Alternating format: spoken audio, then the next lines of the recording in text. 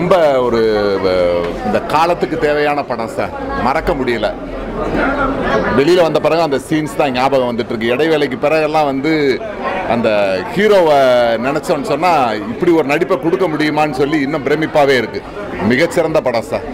பெரிய ஒரு award film இப்போதைக்கு நாட்டுக்கு இளைஞர்களுக்கு தேவையான ஒரு படம் சார்.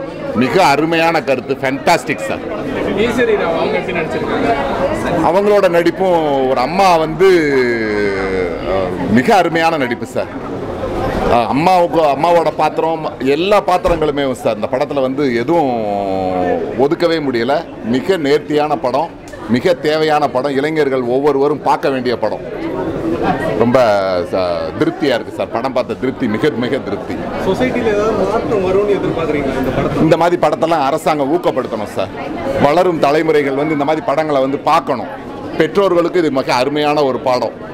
பெற்றோர்களும் பிள்ளைகளை எப்படி கண்காணிப்போட வளர்க்கணும் அப்படிங்கிறது அரசியல்வாதிகள் இந்த நாடு இந்த எதிர்கால சந்ததி எல்லாத்த பற்றியும் திட்டமிடுவதற்கு இந்த மாதிரி படங்கள் வந்து ஒரு மிகப்பெரிய முன்னோடியாக இருக்கும் சார். ரொம்ப திருப்தியான படம் சார். ரொம்ப ரொம்ப திருப்தி சார் பார்த்ததுல. பட்ஜெட்டில் இன்னொரு படத்தை நான் பார்த்தே கிடையாது. நானும் ஃபைட்டர் தான். நம்ம இதில் பண்ண வேண்டியது பட் இதை நான் வேறு ஷூட்டிங் போயிட்டேன்.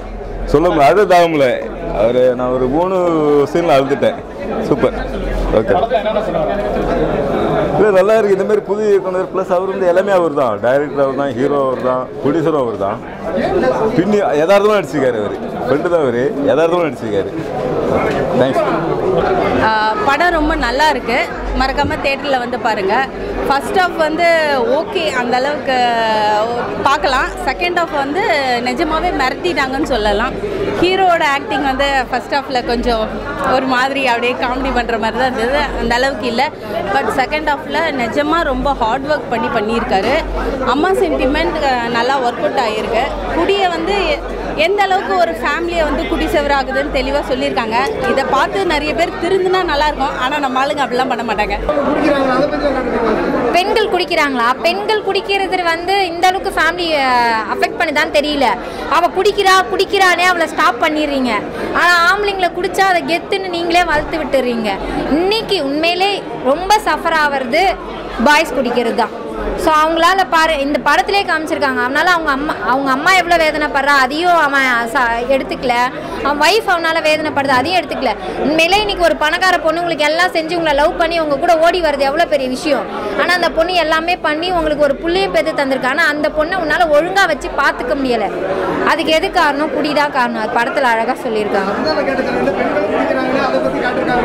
இல்ல இல்ல பெண்கள் குடிக்கிறத பத்தி காட்டல. ஒரு பையன் குடிச்சா அவனோட பர்சனல் லைஃப் எப்படி சீரழியும்? அவன் ஒரு நல்லா படிக்கிற பையனா அதுல ஃபர்ஸ்ட்ல காட்டுறாங்க. ஆனா அந்த குடியால அவனோட படிப்பே ஸ்பாயில் ஆயிருது. அப்புறம் அவனோட லைஃப் ஸ்பாயில் ஆகுது. ஸோ அதெல்லாம் டீட்டெயில்டாக காமிச்சிருக்காங்க.